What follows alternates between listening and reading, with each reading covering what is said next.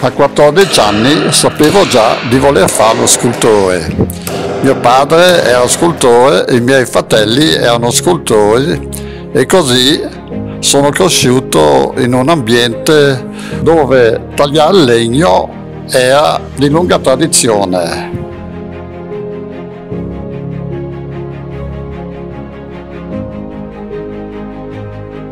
A 17 anni il primo viaggio a Firenze dove sono rimasto impressionato dai dipinti di Piero della Francesca, Masaccio e Ambrogio Lorenzetti.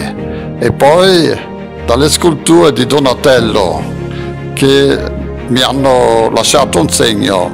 Erano le sculture di Habacuc e Geremia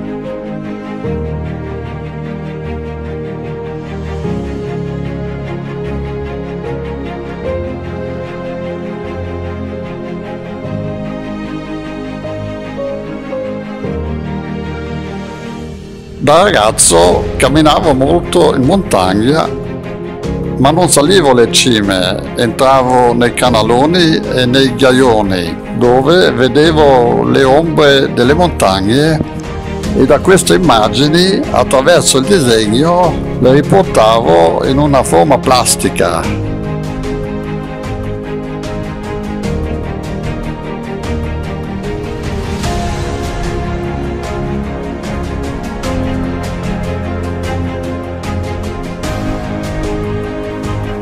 Per me la montagna è un punto di riferimento, la luce e l'ombra, la costruzione di volumi, cerco relazioni tra forma e colori, tra linee che salgono e cadono.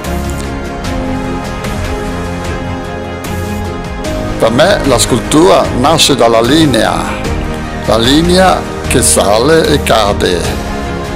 È questo spigolo che dà luce e ombra e così nasce la mia forma, la mia scultura. È la pietra, eh, il sasso, la roccia, la struttura, il colore.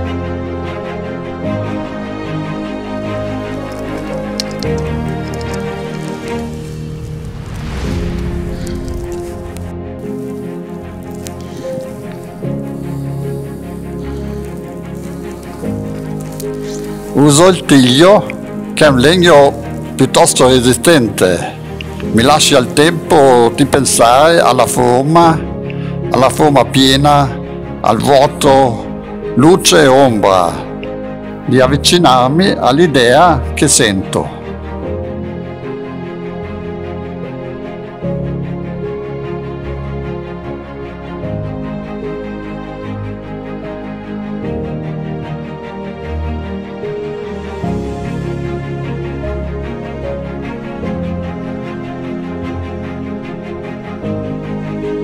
La forza della superficie umida, riflettente e materica. Modificare la lettura della forma, cerco una struttura diversa e personale.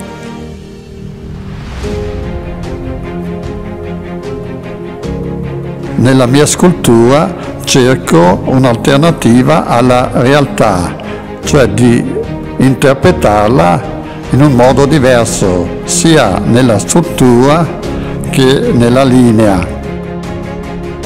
Cerco un'alternativa alla realtà, una immagine nuova, diversa. C'è la forma plastica, c'è il bassorilievo e il segno grafico.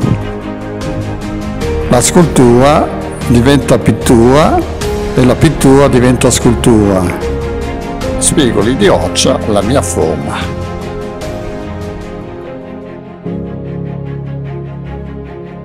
Sono Wilhelm Senono e ho trovato le mie forme nella roccia.